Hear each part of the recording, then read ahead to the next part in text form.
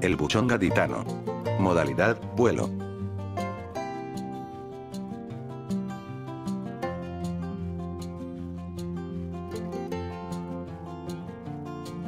En el año 1978, la Federación Española aprobó el estándar morfológico del buchón gaditano.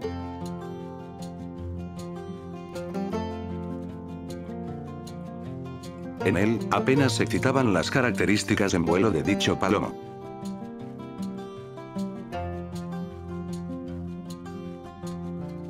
Esta raza que se remonta a principios del siglo XX, fue seleccionada rigurosamente por los aficionados de la época.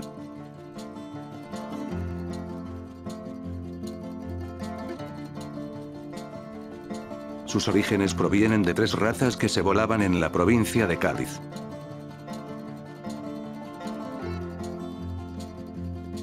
Como eran, la rafeña, la marchenera, y una antigua buchona procedente del levante español. La cual volaba con la cola llana.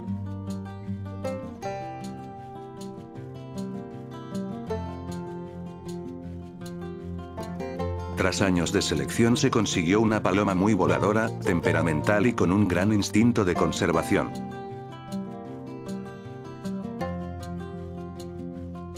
Ofreciendo a los aficionados un gran espectáculo en las sueltas y embreos.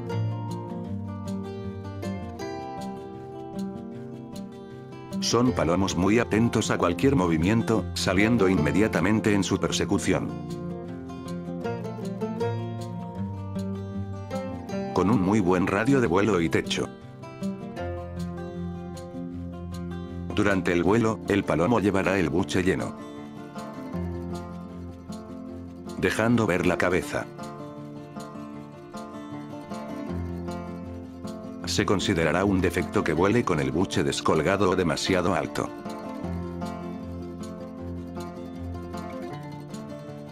En su selección no se permite bajo ningún concepto que se pose en palomar ajeno.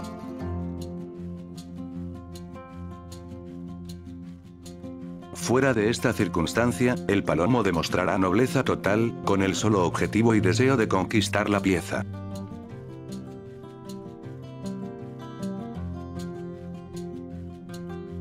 Al llegar a su palomar acompañado de pieza, el ejemplar con casta entrará rápidamente en su casillero, con la intención de mostrárselo.